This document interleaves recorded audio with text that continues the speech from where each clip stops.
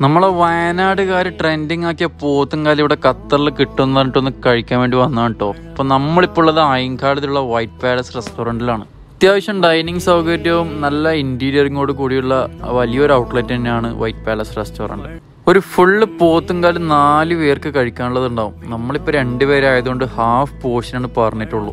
ആ നിൽക്കണ നൃത്തം കണ്ട. ഖത്തറിൽ ബാക്കിയുള്ള ബിൽഡിങ്ങിന്റെ ഇടയിൽ നമ്മുടെ ടോർച്ച് ടവർ നിൽക്കണ പോലെ ആളങ്ങോട്ട് കുത്തനങ്ങോട്ട് നിൽക്കുക കൂടെ കഴിക്കാൻ വേണ്ടി നൂൽ പൊറോട്ട തന്നെയാണ് പറഞ്ഞത്. അത് ഞാൻ ടിക്ടോക്കിൽ വീഡിയോയിൽ കണ്ട സജഷൻ പ്രകാരം ഓർഡർ ചെയ്തായിരുന്നു പക്ഷെ നൂൽ പൊറോട്ട ഒക്കെ ആവറേജ് ആയിരുന്നു.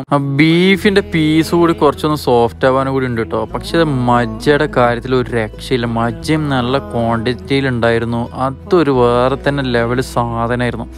അപ്പോൾ ആരും മറക്കണ്ട.